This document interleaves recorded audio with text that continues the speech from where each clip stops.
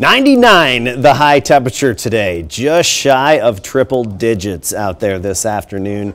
And as we go forward through the evening, well, still hot, 95 at 8 o'clock, 10 o'clock, 87 degrees. By midnight, right near 80 with higher humidity later tonight as well. Southeasterly breeze at about 10 to 15 overnight. Tomorrow, a similar breeze.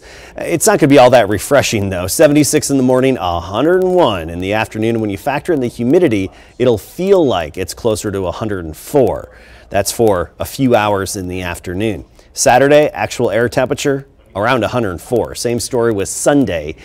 Monday, we get to 101, and then by the middle to end of next week, we'll trim off a few more degrees into the upper 90s as the upper level heat high slides eastward. Nonetheless, I do anticipate three record high temperatures to fall over the next seven days, and that would be Friday, Saturday, and then again on Monday, either tying or breaking those records.